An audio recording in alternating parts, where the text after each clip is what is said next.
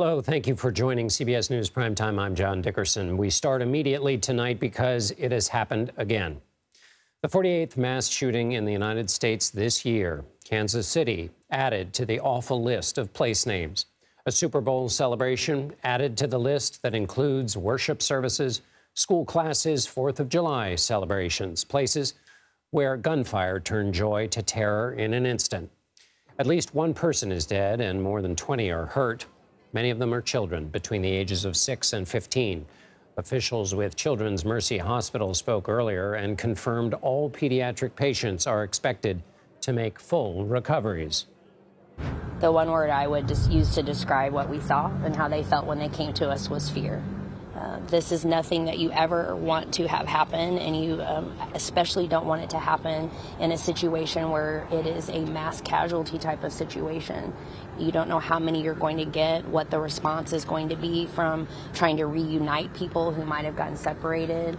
And so while our staff all went into action, um, they have a lot of questions and need some help too. Kansas City police say three people have been taken into custody in connection with the shooting. For the latest on the ground, here's Neal Jones from our Kansas City affiliate, KCTV. This is the moment that the victory celebration turned violent.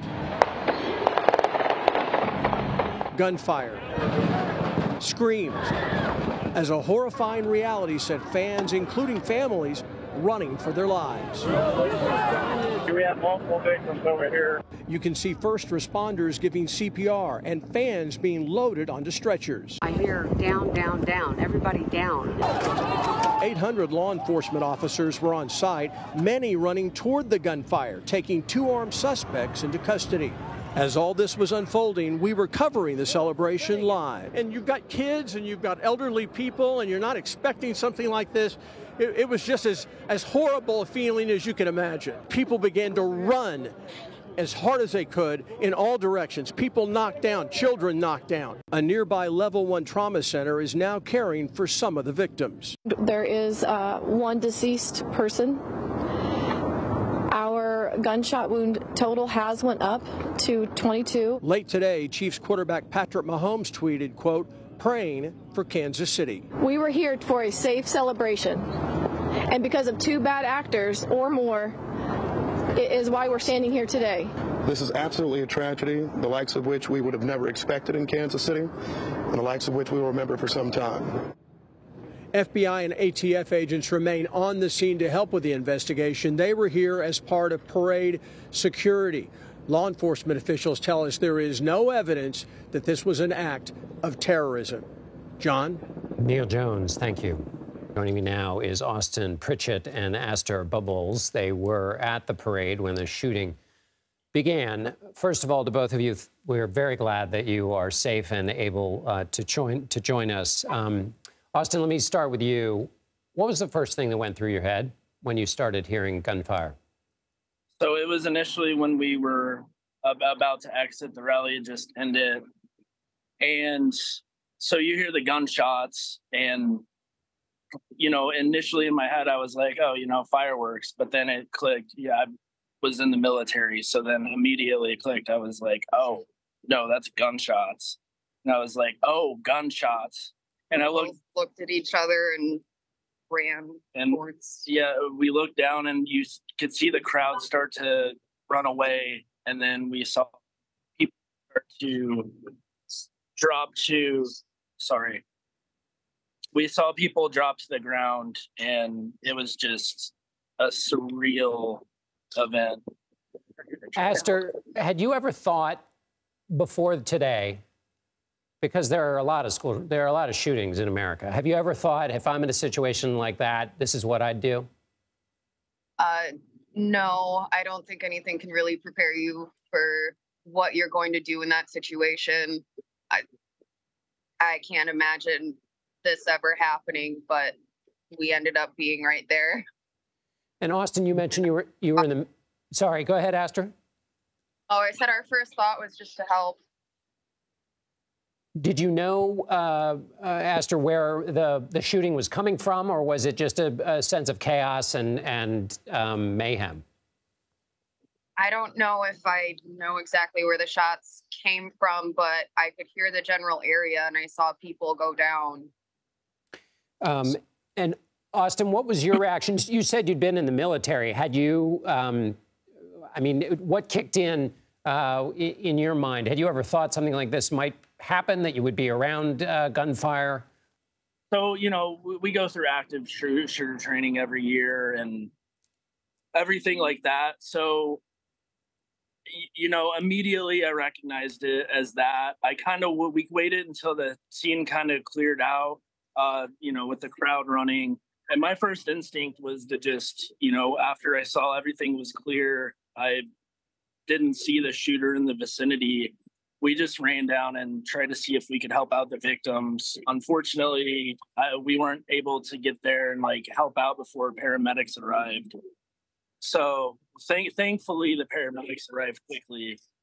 So that was a blessing, but it, it just, uh, you know, your fight or flight kind of just kicks in and you just make your decision.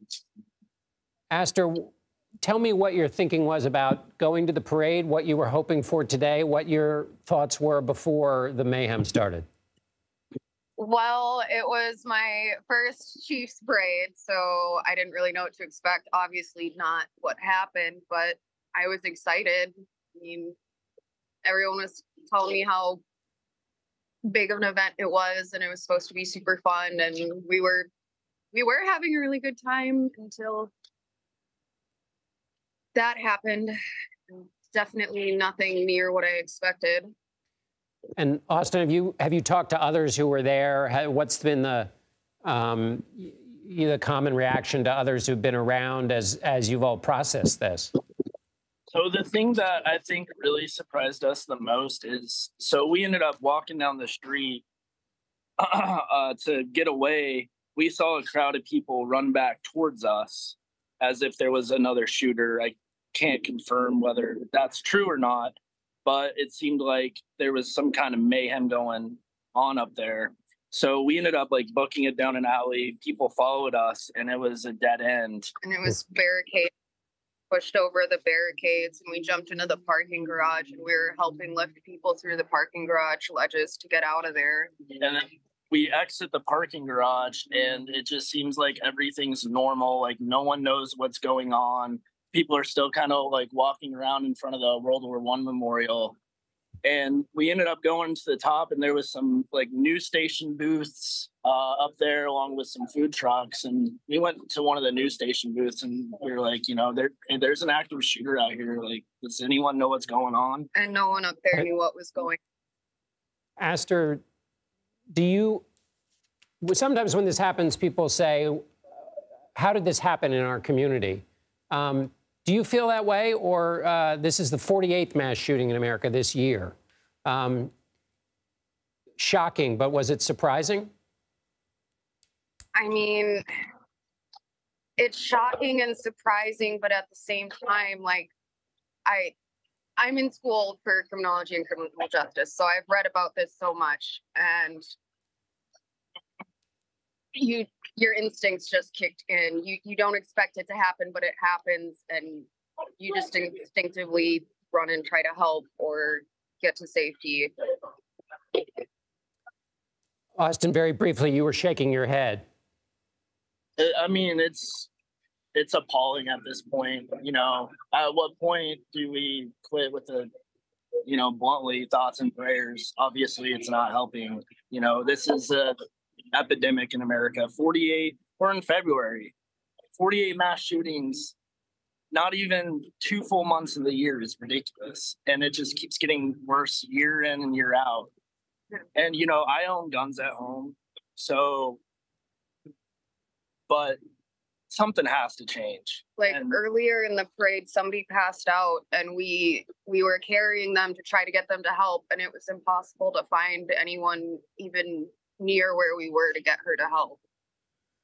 Well, we are very glad that you are both safe, and we really appreciate you giving us um, your explanation of what happened and what it was like to be there. Um, Austin and Aster, thank you so much.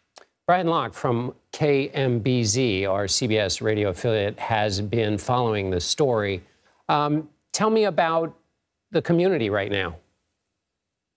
Shocked, um, completely bewildered. The, the fact that this could happen at the end of such a joyous celebration for Kansas City is just it's le- it's left a lot of people just in a total state of shock. Um, most Kansas Cityans can't believe this happened on today of all days. You know, we're looking at 22 people shot, one person dead, 21 people injured, children shot, three people in custody, uh, multiple scenes from this shooting. It's just it's a shock, and it's not it's not what anyone expected from this day. And Brian, I assume there are other celebrations that were planned. Um, what what happens now? Well, I, I think what happens now, the the best example of that is what happened immediately after those shots started ringing out. Everybody dispersed. Um, as you said, this was a day of celebration. It's a big party. The party was going to continue. The parade was over. The rally was coming to an end. But people were going to spend their day downtown. It was a beautiful day in Kansas City, sunny, not a cloud in the sky, 62 degrees, just perfect, a perfect day for a parade. And people, kids had the day off from school, families were downtown, they were going to spend their time downtown. And that was all cut short. People just scrambled and evacuated the area quickly, instantly. Downtown is now it's empty and it's so heartbreaking to see on a night like tonight. Indeed it is. Brian Lock, thank you so much for being with us. During a press conference Wednesday, the Kansas City police chief spoke about the next steps in the department's investigation.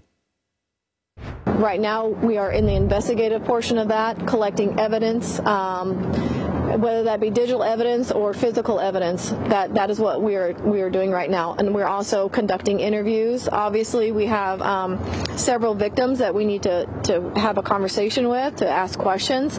Also, witnesses. So there's a lot of work ahead in in this. This is just the beginning stages, but um, we are moving as fast as we can. And Sam Vinograd joins me now. She's a CBS News contributor and a former assistant secretary for counterterrorism threat prevention and law enforcement policy for the U.S. Department of Homeland Security. Your first reaction to what you've learned so far about today? Well, my first reaction is horror that this has happened again and that so many in innocent lives were uh, impacted by what unfolded in Kansas City. But I have to tell you, John, I'm not surprised. Uh, having worked on mass shootings at the Department of Homeland Security, our playbook for these kinds of incidents is still ingrained in my memory because they happen so often. In listening to the press conference, it is very clear that authorities are really in the most nascent stages of the investigation, which is not surprising. Despite extensive planning by the city of Kansas City as well as uh, federal and state partners, there were contingencies that law enforcement officials could not foresee, could not prepare for. And we saw one unfold today. I would imagine that from an investigatory standpoint, authorities are questioning the individuals in custody. They're running their identities against data sets to see if they have any kind of criminal history or any other type of derogatory information that may be relevant, looking at their social media uh, as well, and also talking to vit- witnesses in the vicinity to try to determine the actual course of events that led up to guns being drawn and unfortunately shots being fired.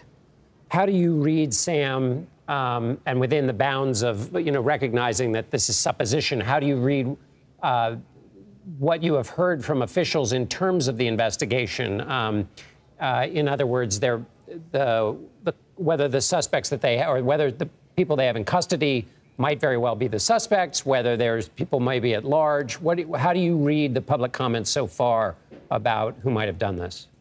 My biggest note of caution right now is not to jump to any conclusions. We really don't know. It does appear that law enforcement um, does feel this to be an isolated incident. They are not telling the public to remain vigilant.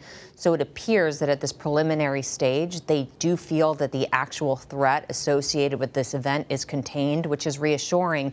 But we really don't know whether these suspects are the only suspects they believe were involved, if there may be others, or if these suspects were in fact actually involved in the shooting. So I would caution our viewers to wait to hear from law enforcement authorities about what comes out of these interviews with the individuals and the other steps that I articulated. Sam, in a, in a situation like this, given the firepower that's readily available, how much can the best hardened target do ag against somebody who's got what's uh, available in American gun stores. I mean, you can prepare, but but give us the sense of how much you can prepare for and how much, you, you know, no matter how prepared you are, you can't stop. Well, hard security preparations alone are not going to solve the gun epidemic. In many hard security targets, there are perimeters set up. There's inspections of individuals before they enter a facility, whether it be um, pat down, there's some other form of technology to see if they have a weapon on their person. But outside of that perimeter, individuals are not uh, undergoing the kind of screening that would necessarily detect a weapon. And in this case, I don't imagine, for example, that a parking garage had that kind of security perimeter set up. So we can't have a security perimeter around the whole country, unfortunately.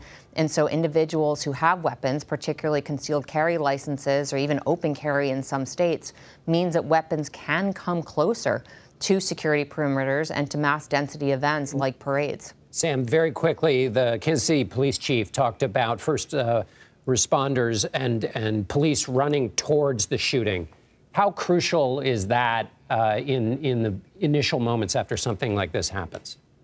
The presence of over 800 uh, law enforcement officials, not to mention other first responders that were present, more than likely saved countless lives today, and we should all be eternally grateful to them for running toward danger and for what they do every day to keep us safe.